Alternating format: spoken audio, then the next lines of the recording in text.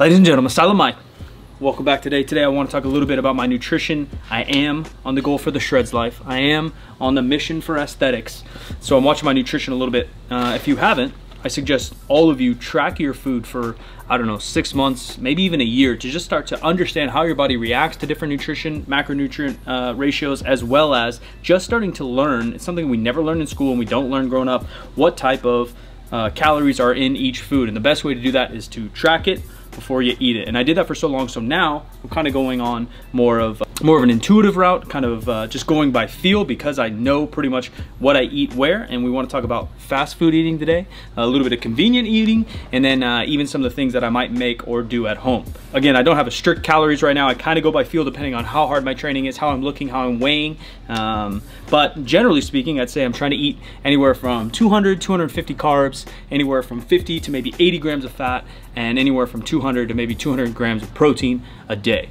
Some of the favorite things I like to eat is probably high, high priority on the list, Chick-fil-A. So we're gonna dig into that in a second. I eat a good amount of Chipotle. It's easy to balance kind of a burrito and a Chipotle bowl depending on how much carbs you want. And without, you know, a bunch of sour cream and a bunch of cheese, you can keep it a little bit lower fat or you can do light rice or light beans, keep it a little bit lower carb, uh, as well as I'm supported by and sponsored by Bite Meals, which makes it super convenient. So uh, they, ship out meals that are generally high protein, uh, moderate carb, and low-ish fat. Uh, you just throw them in the microwave for a little bit. They're pretty fresh. They only last about five days, so um, not not like over preserved or anything. And those taste delicious, and they're also very convenient when I'm at home, when I'm on the road or I'm traveling about videos, gyms, whatever it might be. Um, you know, obviously something like Chick-fil-A or Chipotle might be easier to drive through, eat on the way. So most people, you know, you think fast food, you think even Chipotle, Chick-fil-A, you think, uh, you know, unhealthy or garbage food. And, and, and, there are a lot of unhealthy, unhealthy options there, but you can always cut back on the calories depending on the choices you make. Everything's about moderation,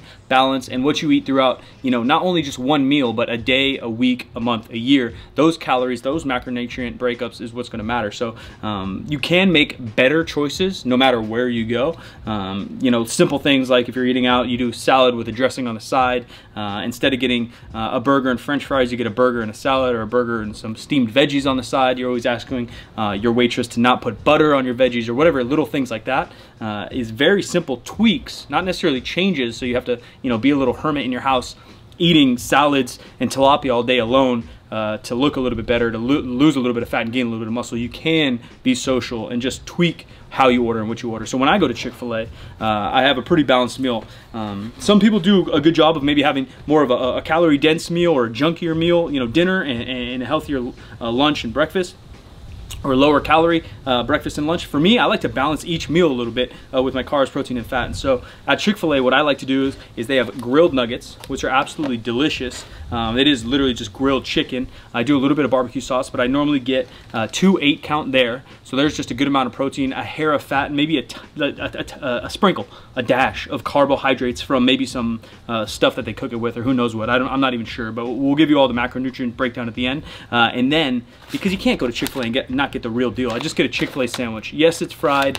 Uh, yes, it has some carbs and bread, but uh, because these the, the, the, grilled nuggets are so low in fat, uh, I get a little bit of fat from that. And it tastes delicious. I tend to get uh, kind of my veggies and fruits in in the morning and then my veggies and fruits in at night. And lunch is midday when I'm kind of jamming away at emails or content or streaming um, or working out. I tend to eat a little bit more like this on the road. So uh, basic Chick-fil-A sandwich, uh, you know, the, the, the, the, fried one, the delicious one. They also have a grilled one, depending on, you know, if I maybe I wanted to do, um, you know, the, the fried nuggets and do a grilled sandwich. You can always, you know, balance things out like that. But the, the regular sandwich is 41 carb, uh, 20 grams of fat or so, and about 30 grams of protein. Um, so overall, not too much. Again, a little bit higher in the fat. And then the nuggets, um, according to MyFitnessPal, and this may be accurate, you know, everything's not perfect, but if you're not trying to step on stage and you're just kind of trying to lean out or live a healthier life, you could easily estimate with these. For all 16 nuggets, is about 70 grams of protein uh, and, and basically about 5 grams of fat and nothing else. So I do use a little bit of barbecue sauce, so you can kind of estimate these, you know, anywhere 10 carbs or less. Uh, barbecue sauce does have some sugar in it, but it is delicious. And for some reason, I love their barbecue sauce in particular.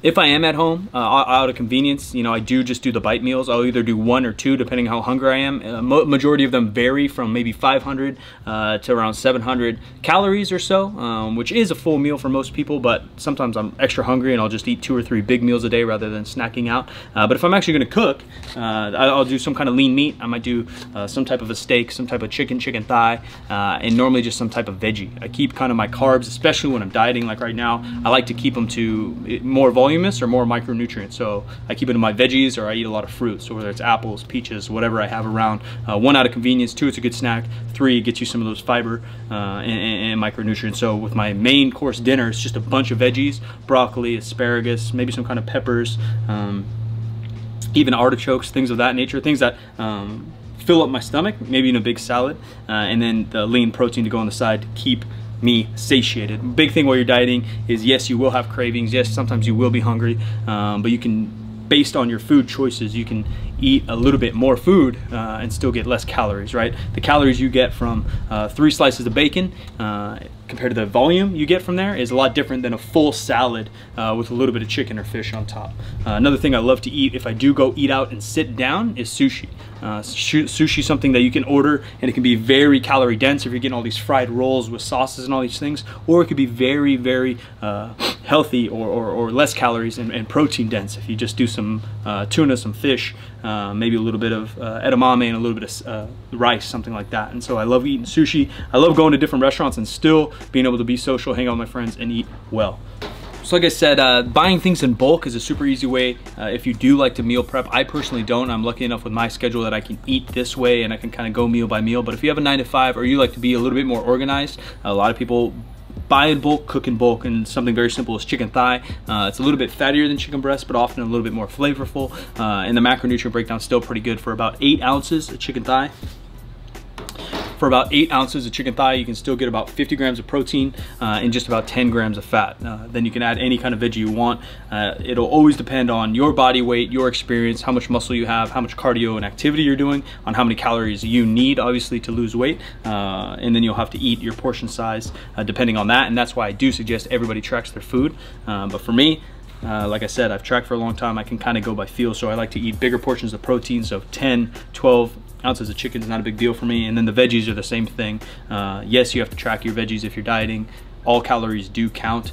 Uh, you'll just be able to eat more veggies uh, and get less calories involved rather than if you're eating uh, cereal or ice cream or something like that, right? You'll be able to eat a, a, crap ton of asparagus to get 500 calories worth of asparagus compared to 500 calories worth of ice cream. Uh, that's kind of the point, and that's why I like to eat veggies. One, I'm lucky enough, my palate uh, likes a good amount of green veggies, but hopefully you can find a couple vegetables, a couple fruits that you enjoy uh, to mix in there because micronutrients are important as well. Again, I am sponsored by Bite Meals, but it is one of the most convenient ways to stay on your nutrition and easily track your food because they all come with higher protein meals. One of my favorite that they make is the chicken alfredo. Uh, it's a little bit of pasta, a little bit of chicken, a, a good amount of sauce.